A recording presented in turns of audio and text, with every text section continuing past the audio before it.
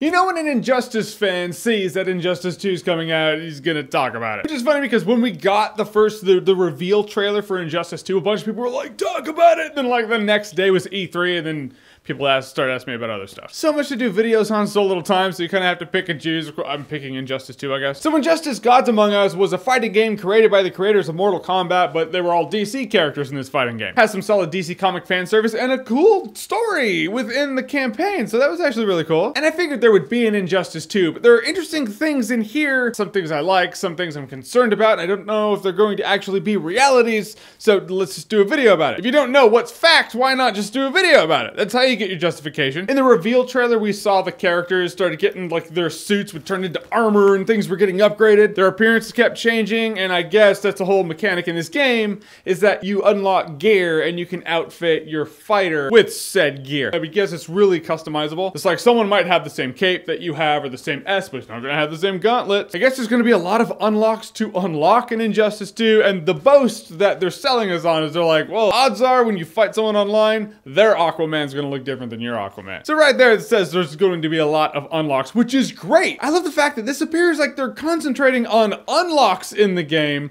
rather than you DLC. Using in a way to, you know, like motivate you, like, I want to unlock that thing. However, as cool as it is in the concept of, holy crap, you can unlock somebody, like, why stop playing the game? You're gonna want to do those logistics that get you the, the new Superman belts or the Batman, I probably should have said belt for Batman. Oh, that's Superman utility belt. You know they're gonna have DLC packs where it's like, oh, it's an exclusive flash symbol for his chest, so you can only get through the DLC. Or if you pre-ordered the game at your local game store, you're gonna get some exclusive unlocks there too. However, it is great to have unlocks in a fighting game. It's just a big part about what makes fighting games fun for me. The whole gear system that they're going for is actually really cool for a fighting game. I like the fact that it's like RPG elements trickling into a fighting game. Visually customizable as well as, you know, fighting style customizable. Because they also said it's not just gonna be stat buffs and defense and whatnot, it's gonna unlock different moves for you. So your Superman is going to fight differently than someone else's Superman online. It's like the customization of the three fighting styles in Mortal Kombat X times a lot more. Great possibilities there as long as it's executed well. But the thing about that is, as cool as it is to be able to outfit your Superman or your Aquaman or your Flash to what you want him to look like, I personally like playing as the comic book characters from the comic book novelties. You know, Injustice 1 was like, alright, that's the Arkham City Joker skin, or the Killing Joke Joker, or the Tourist Joker from the Killing Joke. You know, I like being able to play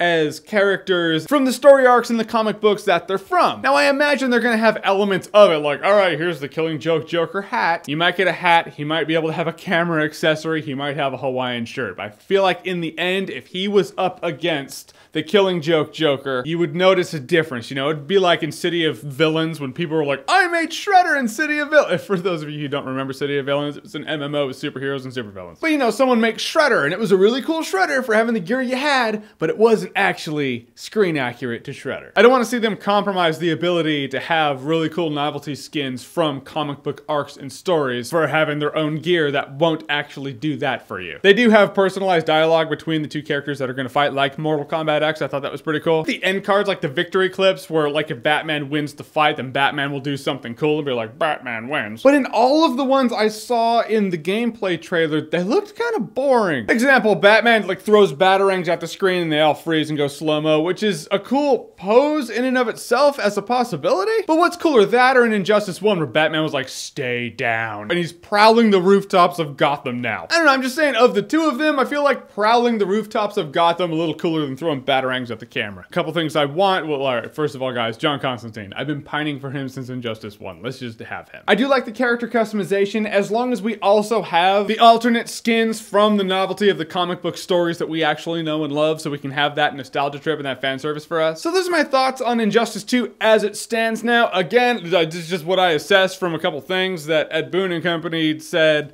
and from the gameplay trailer and the reveal trailer. Won't know until some months down the road where they actually break down exactly how all of this works, and I definitely won't know until I play the game. In the end, guys, I am excited for Injustice 2, for sure. I mean, other than the little gripes that are ultimately probably just the baseless paranoias of a nerd rambling on YouTube, they're doing something seemingly very cool with Injustice 2, and I want to see it in action. Funny thing is, in the reveal trailer for Injustice 2, there was a narrator who was Bryan Cranston, so people were like, whoa, is Bryan Cranston in this game? Who's he playing? Little known fact, Bryan Cranston played Jim Gordon in Batman Year One, so is it gonna be Jim Gordon? Can Jim Gordon really hold his own in Injustice? Well, if J.K. Simmons, who plays the new Jim Gordon in the new movies, is any indication, yes, Jim Gordon can hold his own in Injustice. Did you see that shit? Oh my god, old guy is super inspiring me to work out right now. So Injustice 2, have you seen what they have so far, and what do you think about what you've seen? Whatever you think, comment below, let me know, and as always, if you like what you've seen here and you want to see more, click right here to see more.